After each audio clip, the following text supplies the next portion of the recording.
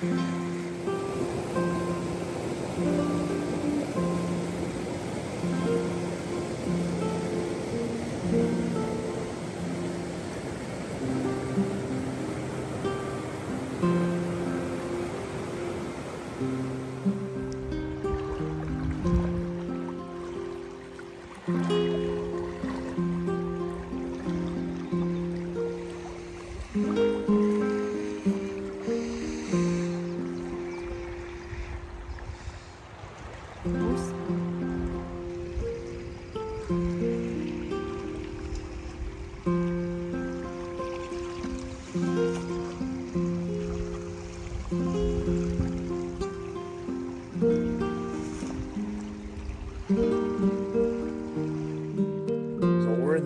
Mountains. I don't want to talk too loud because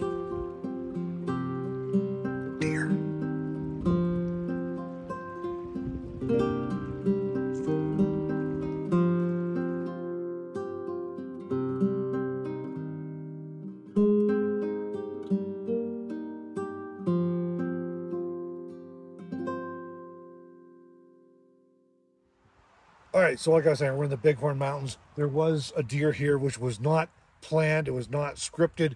We were just getting ready to say we're in the Bighorns, and it was a deer. So really awesome. Um, I love the Bighorn Mountains, guys. If you haven't been up here before, you're ever in Wyoming, you owe it to yourself to do it. There's a couple of main routes east to west across the Bighorns, and we're on 14 right now, which is the northern route. It's a little steeper than the southern route, which is 16. Uh, so if you got like a big RV or uh, uh, power challenged vehicle, you might prefer a 16. But the whole loop is pretty incredible if you want to do that. So uh, I brought Melanie up to show her the Bighorns. We're taking 14 today, and it's great, really interesting because we're seeing lots of water because it's still snow melt time. There's still a lot of snow in the peaks and higher elevations, but it was raining earlier too. But the sun just came back out and sort of and it's gorgeous. Having a great time up here. So let's go see what else we can find. So we just found these uh, piles. Apparently the squirrels have been busy here. Uh, just several trees that are just, yeah, pretty cool.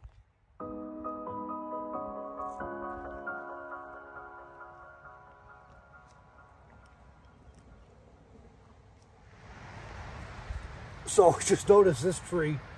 Uh, beavers have been active here, and it's interesting. There's lots of uh, sap and everything. So this might have been a little while, but they've been active here, and I see a lot of other stumps around where they've actually taken down whole trees along this river.